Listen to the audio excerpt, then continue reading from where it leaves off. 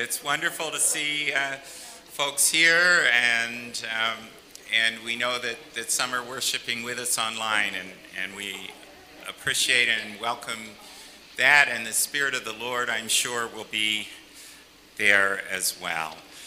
And I do uh, need to announce that um, Pastor Brandt received a positive test for COVID yesterday, so he is not here. Um, and we are thankful to Rob Wilhoff stepping in, and we'll be bringing the message, and Sandy Partridge also helping uh, with the service today. And we're very delighted to have uh, Krista and David back with us, and uh, while the Snells are on vacation. So um, let us start with a call to worship, a responsive reading from Revelation. And I ask you to stand, please, and it will be um, on the front.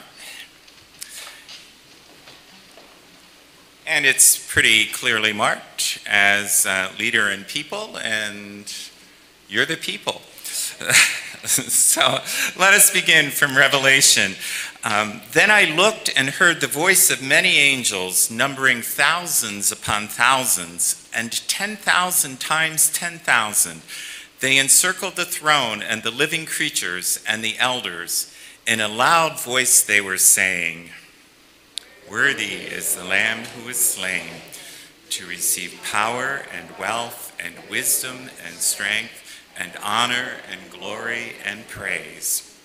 Then I heard every creature in heaven and on earth and under the earth and on the sea and all that is in them saying, To him who sits on the throne and to the Lamb be praise and honor and glory and power forever and ever. The four living creatures said, Amen, and the elders fell down and worshiped. Let us pray. Lord God, we too join with all creation to give you power and wealth and wisdom and strength and honor and glory and praise. May our praise be acceptable to you today. May our worship be a time when you move with your Holy Spirit.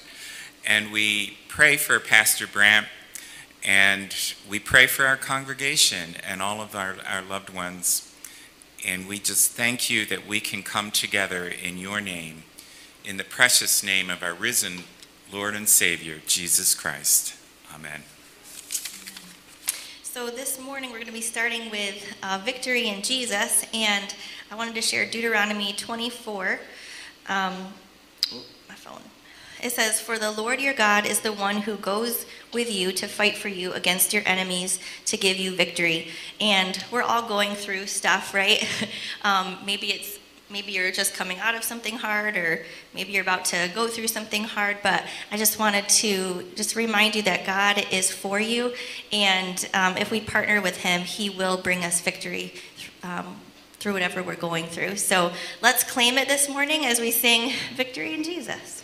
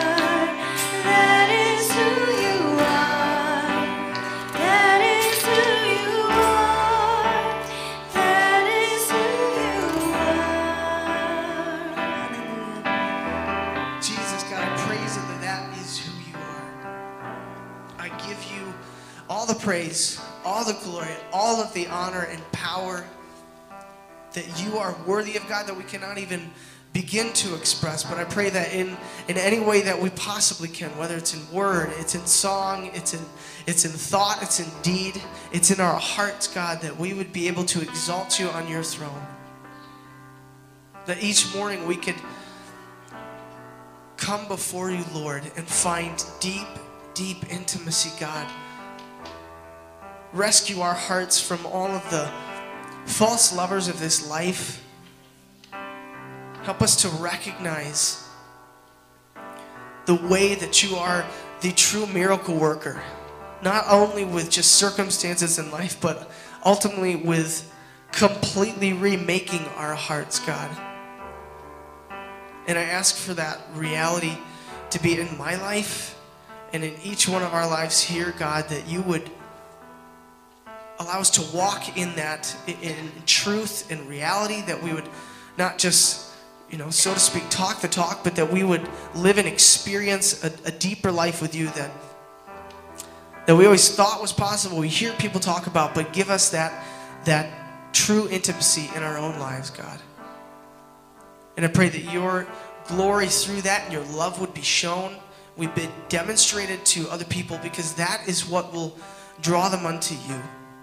Is that deep centered relationship on you where nothing can shake us. And granted, sanctification is lifelong. But I pray that each each day that we're closer to you, each day that we're we're representing that even more. And that would be able to share your lifeline, God, with those around us, even just through our countenance. So this morning, we just give you all the glory once more and the praise. I pray that you would move through this service, that this uh, the message would just carry through to our hearts and to those around us, and that you would allow us to release all of our fears and worries on you and trust in your providence and in your provision, God. And I pray for your glory. In Jesus' name, amen.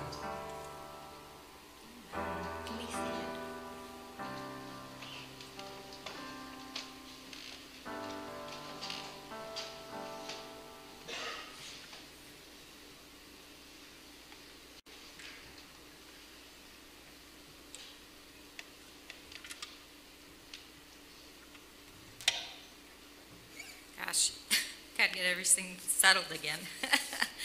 Um, Just a normal announcement that's up there about the offering. You can uh, mail it in, you can put it in the boxes, the white boxes, or you can do it online. Um, We have a couple of um, items on the prayer list. Uh, Dan Patmore, um, that's Pam's husband, is at Strong with an undiagnosed illness, uh, waiting test results. And Cheryl Harris has a praise that the scar tissue um, removed from her eye was um, a successful surgery. That's wonderful. Okay, our scripture for this morning for the prayer time is Matthew 28, verses 1 through 15. After the Sabbath, at dawn on the first day of the week, Mary Magdalene and the other Mary went to look at the tomb. There was a violent earthquake, for an angel of the Lord came down from heaven, and going to the tomb, rolled back the stone and sat on it. His appearance was like lightning, and his clothes were white as snow. The guards were so afraid of him that they shook and became like dead men. The angel said to the women, Do not be afraid, for I know that you are looking for Jesus who was crucified. He is not here. He has risen, just as he said. Come and see the place where he lay. Then go quickly and tell his disciples, He is risen from the dead and is going ahead of you into Galilee. There you will see him. Now I have told you. So the women hurried away from the tomb, afraid yet filled with joy, and ran to tell his disciples. Suddenly Jesus met them. Greetings, he said. They came to him, clasped his feet, and worshipped him. Then Jesus said to them, Do not be afraid. Go and tell my brothers to go to Galilee. There they will see me. While the women were on their way, some of the guards went into the city and reported to the chief priests everything that had happened. When the chief priests had met with the elders and devised a plan, they gave the soldiers a large sum of money, telling them, You are to say, His disciples came during the night and stole him away while we were asleep. If this report gets to the governor, we will satisfy him and keep you out of trouble. So the soldiers took the money and did as they were instructed. And this story has been widely circulated among the Jews to this very day. Let us pray. Dear Lord and Heavenly Father, we thank you so much for today, um, for waking up to the sun um, and uh, the beautiful flowers that you send after the rains come. Lord, there's a blessing in nature. We, um, we experience the dull, dark days filled with rain, and uh, at the end of it, we're able to see your promise through um, the beautiful spring. Lord, we bring our, um, our prayers to you uh, specifically uh, for um, Dan Patmore. We ask that you will give guidance and wisdom to the doctors as they try and figure out what's wrong with him. And Lord, we pray that you will um, work healing his body. We pray also for Pam that you will give her peace and comfort as she, uh, she waits through this time. And we think of Cheryl and her praise, and we are so grateful, Lord, that you have um, worked in her eyes and um, have continued to make progress with her sight, Lord. We are so thankful for the miracle that you have done in Cheryl, Cheryl's life. Lord, we lift up all the people that we have been praying right along for. Um, and, and you know exactly where they are in their journey and their struggles and their illnesses. We ask that um, you will stay close to them, that you will bring other people close to them to um, help in your healing process and to bring your peace and comfort. We ask um, especially for uh, healing for Pastor Brandt, Um, We ask that um, this, that he will have mild symptoms of COVID and um, no lingering effects, Lord. We uh, also ask that you will keep the rest of his family safe, that um, they won't get sick, and uh, Lord, that, that we will be here to help in whatever way that you want us to help that family, Lord. Lord, we, um, we also um, ask for, for your guidance and uh, comfort and peace in our country and in the world, Lord. There is so much going on, and we have heard and sung about um, do not fear, um, look to you, and Lord, we ask that, uh, that we will continue to do that and that we will um, continue to show kindness and witness to, to those in our community and those that we come into contact every day, Lord. Lord, we lift up all these prayers to you, knowing, um, having that sure hope that you love us and uh, you are looking out for us, and Lord, in your will, um, all will be accomplished as you, as you wish it to be, Lord. We pray all of this in Jesus' precious name. Amen.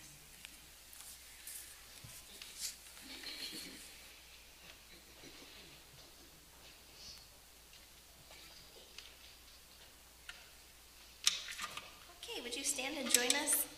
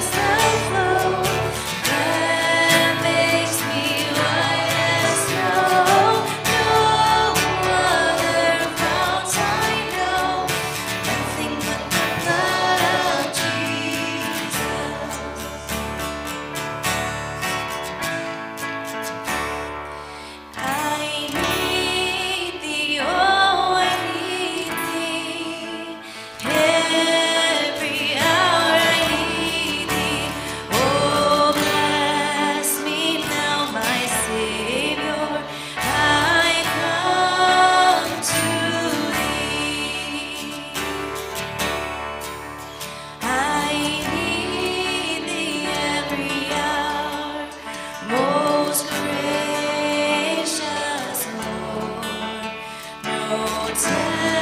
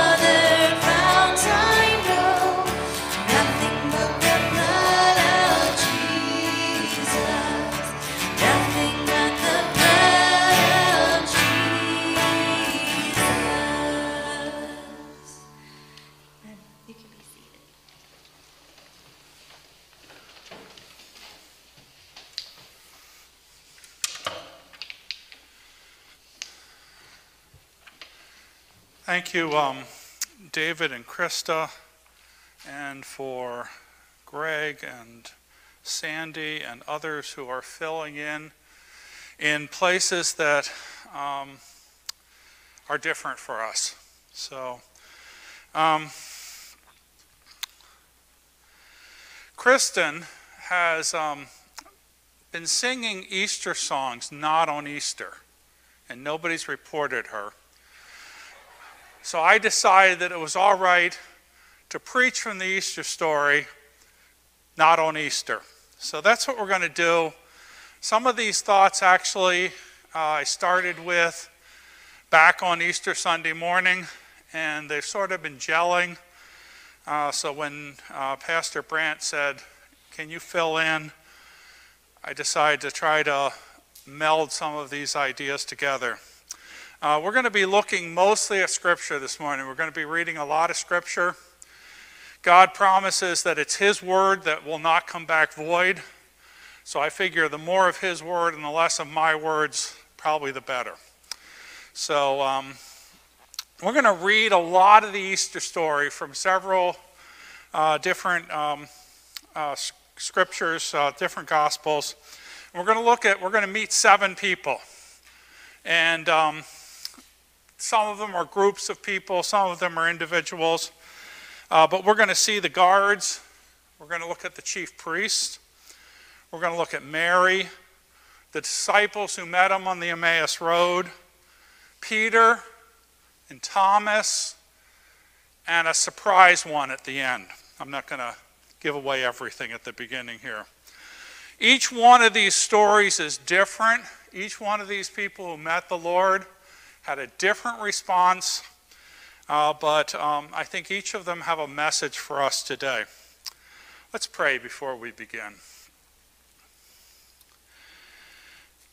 Dear Heavenly Father, I just ask as we uh, look at your word this morning, as we consider the resurrection of your Son and um, the things that he has done for us, we just ask that you will uh, make this uh, truth new in our lives and that it will change our lives as we go from this place.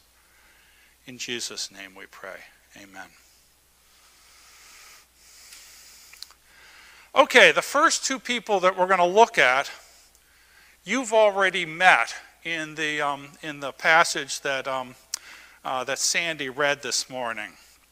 Um, and it's interesting, these first two groups of people Jesus did not, oops, I'm sorry, I should have taken this off.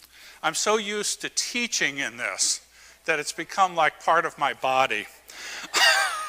sorry, that will probably help too with uh, being able to hear. Um, sorry about that. The first two groups of people you've actually met already. And um, most likely, Jesus did not interact with either of these two groups of people after the resurrection. But there's a good likelihood that he interacted with them before. In fact, with the, in the part of the chief priest, we know that he did. Uh, with the soldiers or the guards, not quite so sure about that. Um, the chief priests have been opposing Jesus since the time that he started his ministry. It was almost word number one, and the chief priests the teachers of the law, the people who should have accepted him the most, are fighting against him the whole time. Uh, Jesus has some of his most critical words. In fact, I haven't actually studied this, but I would say probably his only critical words about the teachers of the law, the Pharisees. Um, he said, You're blind guides, leading, leading the blind. You're whitewashed graves uh, that just have dead man's bones in them. Uh, he likened them to the ones who killed the prophets. These were serious accusations, and Jesus reserved them only for these people who should have been the leaders in the church, should have been those the first to accept him. Uh, these men knew the truth, but they had rejected it. And they continued to reject it. So, what do we see them doing? They're not convinced by the resurrection. Jesus said, even if somebody comes back from the dead, they will not believe. And they didn't. So, what do they do? They come up with a plan to cover this up. Okay, the guards. The guards were most likely Roman. Scripture doesn't say that, but it's, it's probably the case that they were Roman. And so I put them in the, in the category of the secular. Right? They, they didn't really have an interest in this. All they really cared about is they didn't want to get in trouble. Right? So what did they do? They take the money and run. Right? They spread the word. They tell the lies that the chief priest said to tell. And but they're just going to continue and say, you know what, this Jesus fellow, he doesn't have anything to do with me. Just let me live my life. Just let me get my money. Let just let me live in safety. I don't want Jesus. He just messes things up. Okay, let's turn to John, the 20th chapter. And um, we've already heard about Mary, but John gives a much fuller account of Mary at the, um, at the tomb.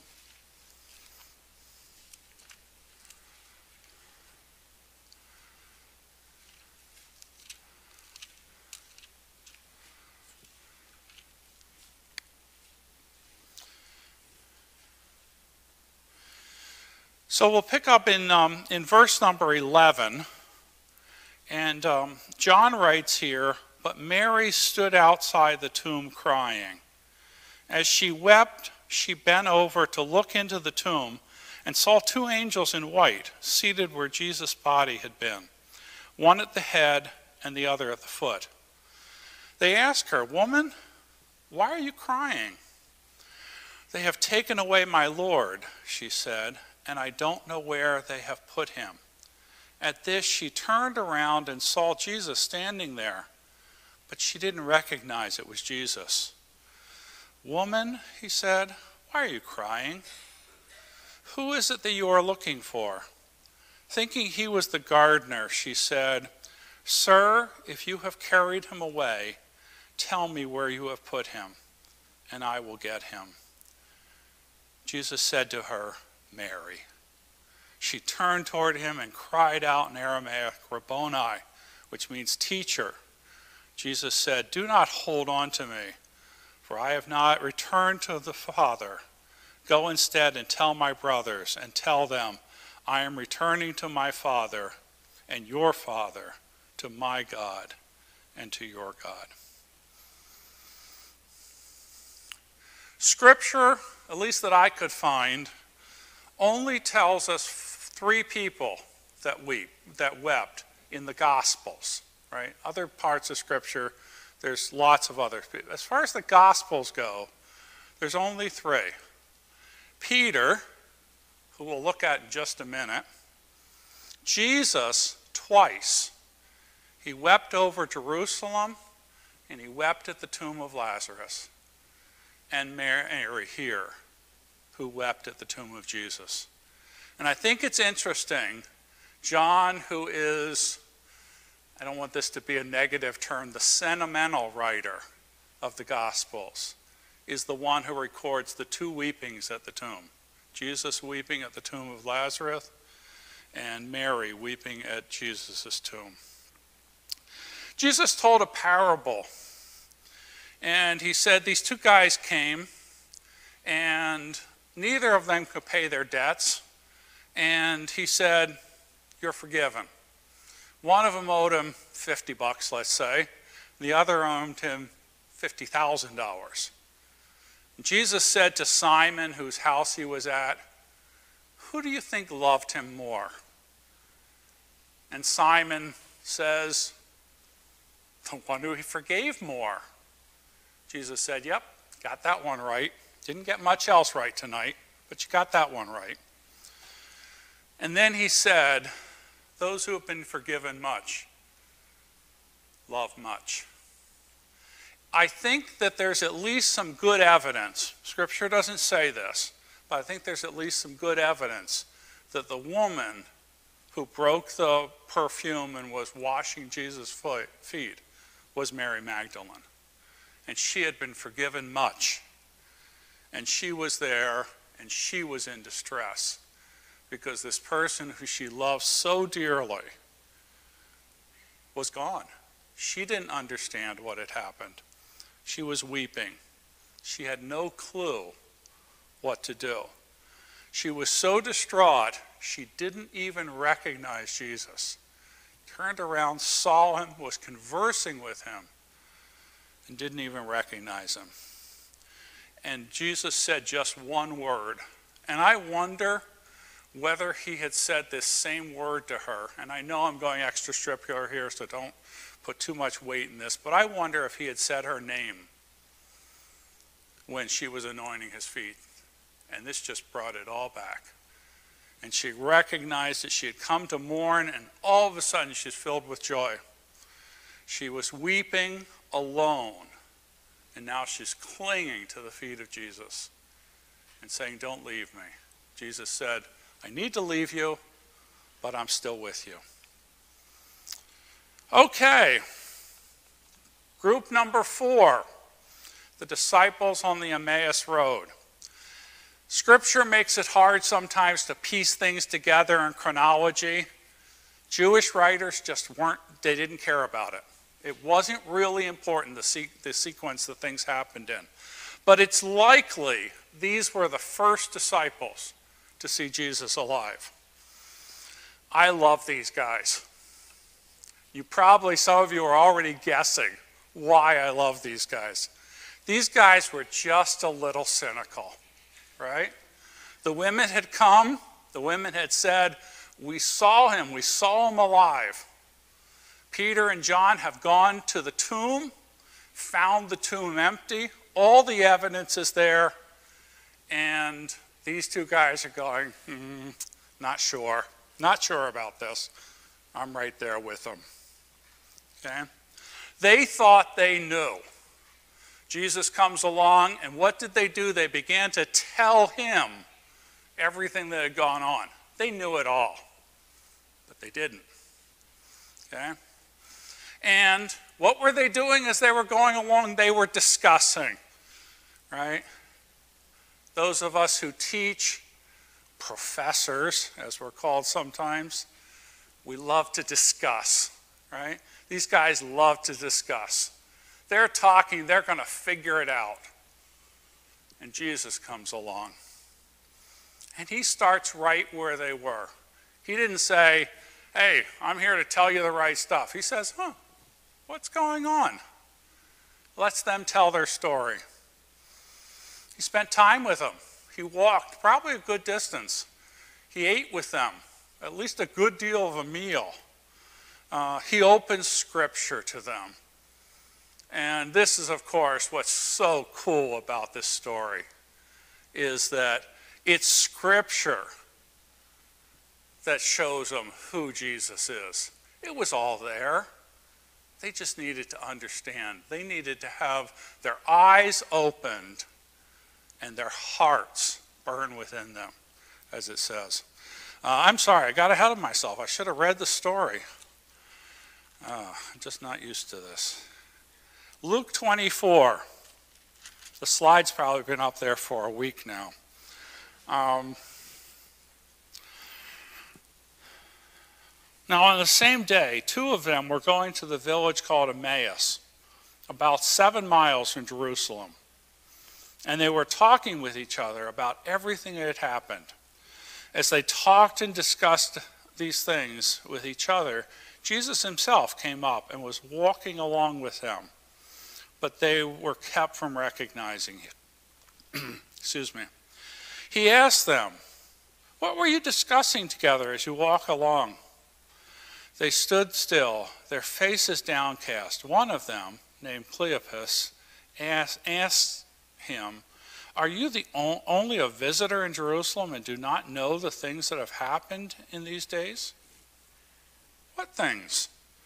Yeah, I love that question. What things? About Jesus of Nazareth, they replied, He was a prophet, powerful in word and deed before God and all the people. The chief priests and the rulers handed them over to be sentenced to death, and they crucified him. But we had hoped that he was the one who was going to redeem Israel. And what is more, it is the third day since all this took place. In addition, some of our women amazed us. They went to the tomb early this morning, but didn't find his body. They came and told us what they had seen a vision of angels who said he was alive.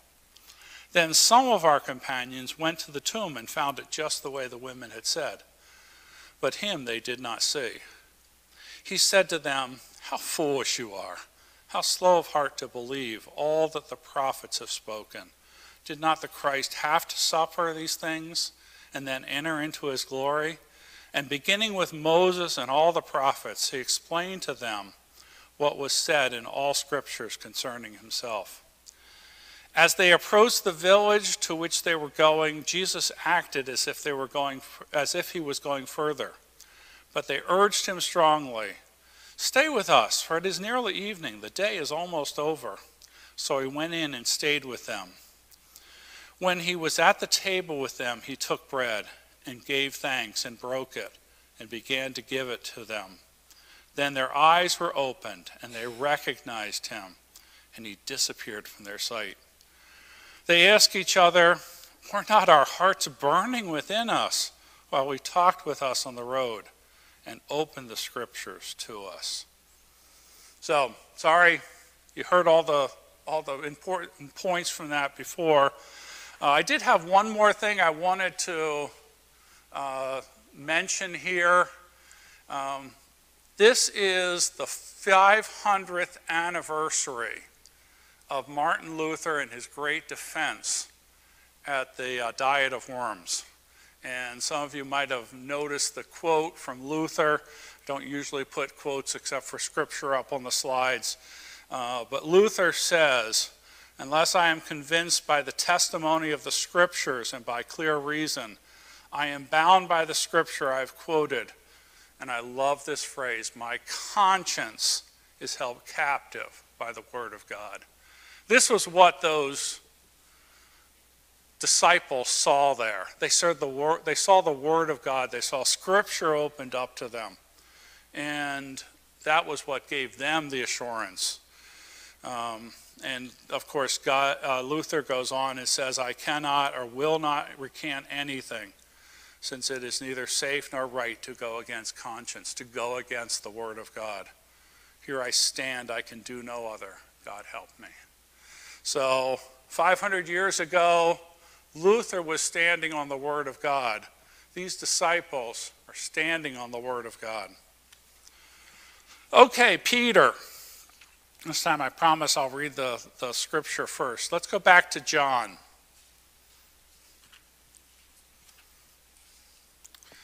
And um, there's three short passages, all of which are familiar.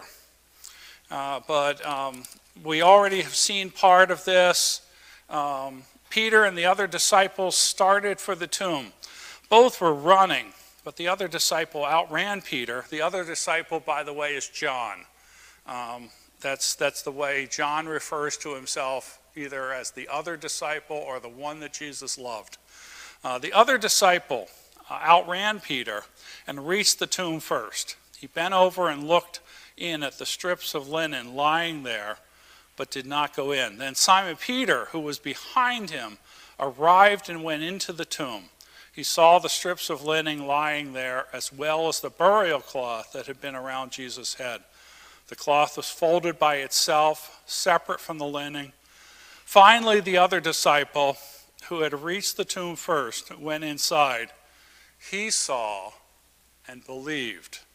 I think it's interesting, it doesn't say Peter saw and believed. Um, I don't know, I don't want to be drawing too much there.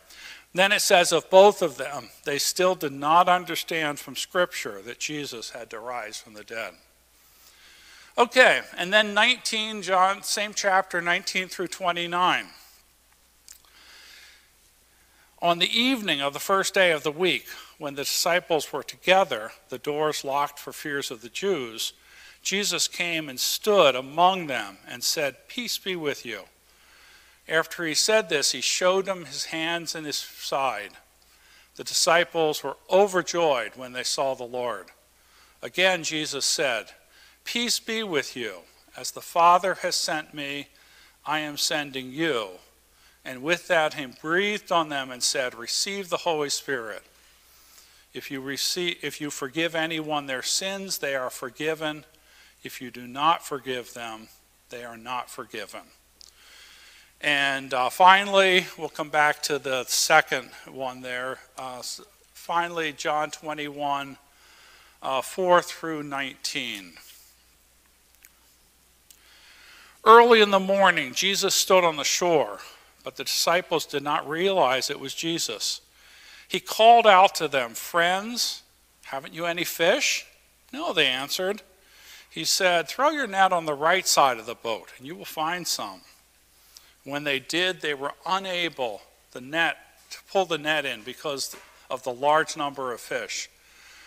Then the disciple whom Jesus loved, John, said to Peter, It is the Lord. As soon as Simon Peter heard him say, It is the Lord, he wrapped his outer garment around him, for he had taken it off, and jumped into the water. The other disciple followed in the boat, towing the, note, towing the net of fish, for they were not far from shore, about a hundred yards. When they landed, they saw a fire burning, uh, burning coals with fish on it and some bread.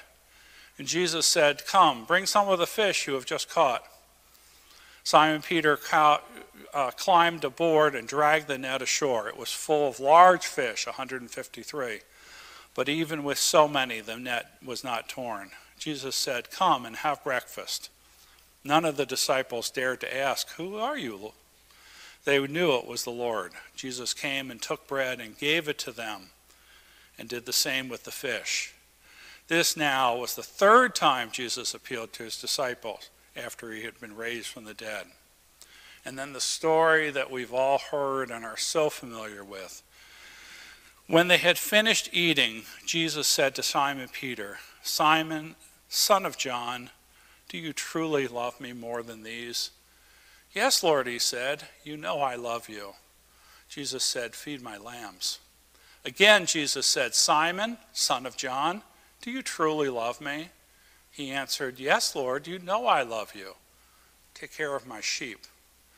The third time he said to him, Simon, son of John, do you love me? Peter was hurt because Jesus asked him a third time, Do you love me? He said, Lord, you know all things. You know that I love you. Jesus said, Feed my sheep. When you were younger, you dressed yourself and went where you wanted.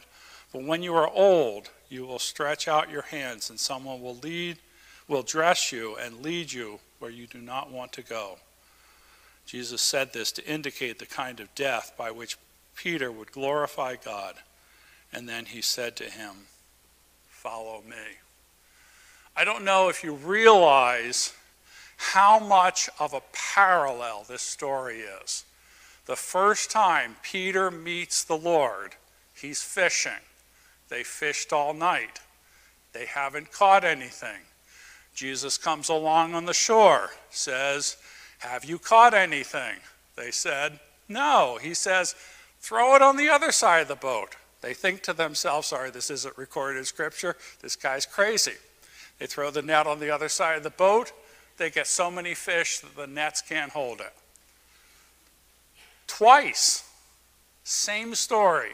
And by the way, they both end with the same command follow me. But this story about the restoration of Peter is just so incredible. Jesus doesn't say you're forgiven. I think Peter knew already that he was forgiven. Jesus had said, even before he, he uh, denied him, he said, I'm, I'm praying for you. Satan has, has desired to shift you as wheat, but I am praying for you. So I think Peter knew that he had been forgiven. What Peter needed was to be restored, to be set up for ministry again. And so, three times Jesus says, Do you love me? Peter says, Of course I love you. and Jesus says, Minister, feed my lambs, feed my sheep. Okay, Thomas sort of ignored this part of the story earlier. Just going back a page there, probably um, to, um, uh, to John uh, 20. Um, John 20, uh, 26. So, um, Thomas wasn't there, of course, the first time, and um, uh, he, uh, he goes on, and uh, John writes, A week later, his, disciples were in the house again, and Thomas was with them. That though the doors were locked, Jesus came and stood among them and said, Peace be with you. Then he said to Thomas, Put your finger here. See my hands. Reach out your hand. Put it in my side. Stop doubting and believe. Thomas said to him, My Lord and my God. Then Jesus told them, Because you have hold, I'm sorry. Then Jesus told him, Because you have seen me, you have believed. Blessed are those who have not seen and yet not believed. And then, probably the most important verses of this passage Jesus did many other miraculous signs in the presence of the disciples, which are not recorded in the book. But these are written that you may believe that Jesus is the Christ, the Son of God, and believing you may have life in his name. We're way too hard on Thomas. Thomas was no different than the rest of the disciples. He just happened to have missed the first meeting. Never miss meetings, right? Right? We all have our doubts. Each of the disciples had their doubts, and they saw the same evidence that Jesus presented to Thomas. So, you know, just just like just like Jesus did to Mary, just like Jesus did to those on the Emmaus road, just as he did to the disciples. He starts where Thomas is, and he says, "Look, see, you were doubting, but see." And then what I think is so interesting, it doesn't say, so Thomas examined the, the wounds, you know, did a fact analysis, and came to the scientific conclusion that Jesus was, in fact, who he said it was. It uses the same word it's used for the others. He believed. It's ultimately, no matter how much evidence we're given, it's ultimately a matter of faith. It's and that's why I think that last verse is so important. It says to us, we have the same evidence, we have the same information, we have enough so that we can believe. Okay, our surprise guest. And maybe a few of you have figured this out. Um, and as soon as I say the passage, you're all going to figure it out. Let's turn to Acts 9.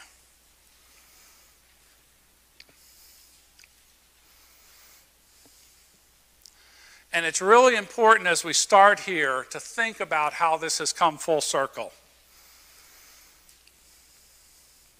Meanwhile, Saul was still breathing out murderous threats against the Lord's disciples. He went to the high priest and asked him for letters to the synagogues in Damascus, so that if he found any who belonged to the way, whether men or women, he might take them as prisoners to Jerusalem. As he neared Damascus on his journey, suddenly a light from heaven flashed around him. He fell to the ground and heard a voice say to him, Saul, Saul, why do you persecute me?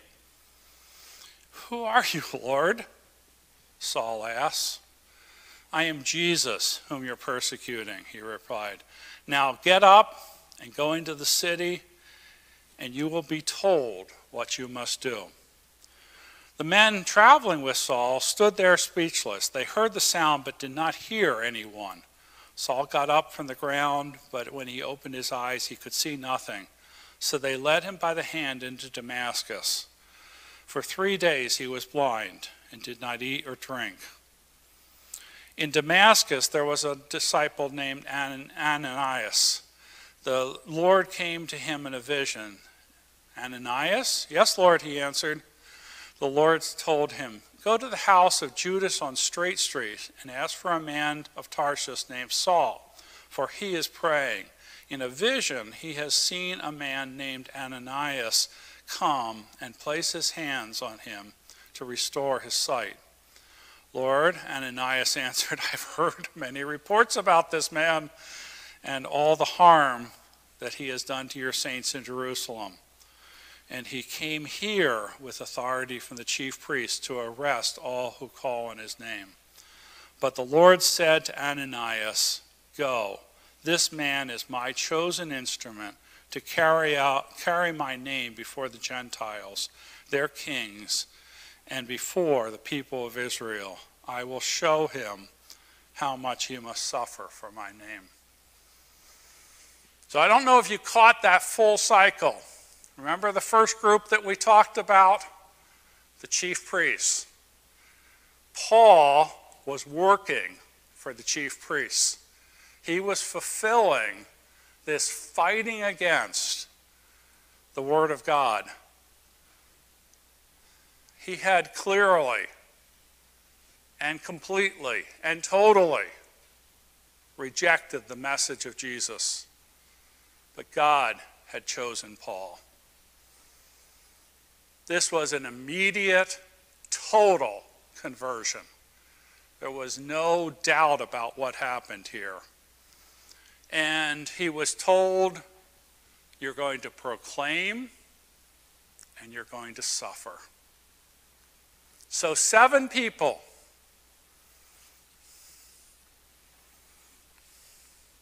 Those of you who have been in a Bible study with me know I like to end our discussion with so what? Right? So, when I titled this sermon, I titled it The Resurrection. So what? Okay. What so what are you going to take away today? How's the resurrection of Jesus Christ going to affect you? Perhaps you're like the chief priests and you need to stop fighting his work and accept him. Maybe you've bought into the secular message that, you know, that resurrection thing isn't really that important. Maybe like the guards, you need to understand that Jesus' resurrection is the single most important event of history. And it's much more important than your possessions or your safety.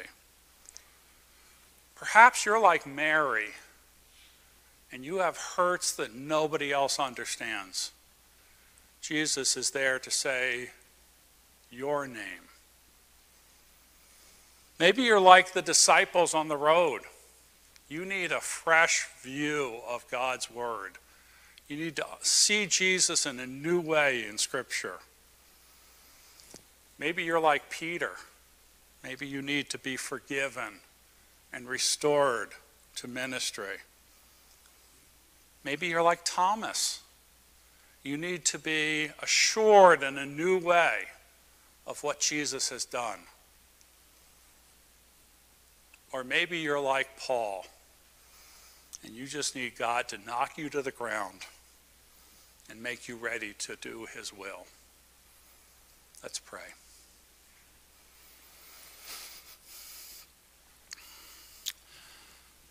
My prayer, Lord, is for each person who's here today, and that they might see you as the risen Savior in a new way.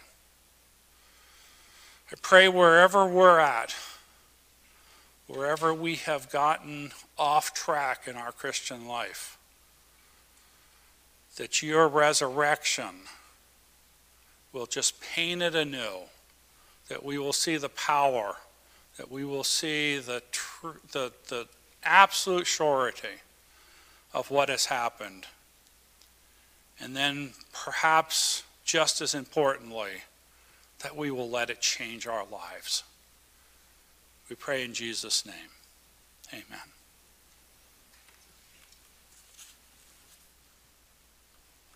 Would you stand and join us in one more song?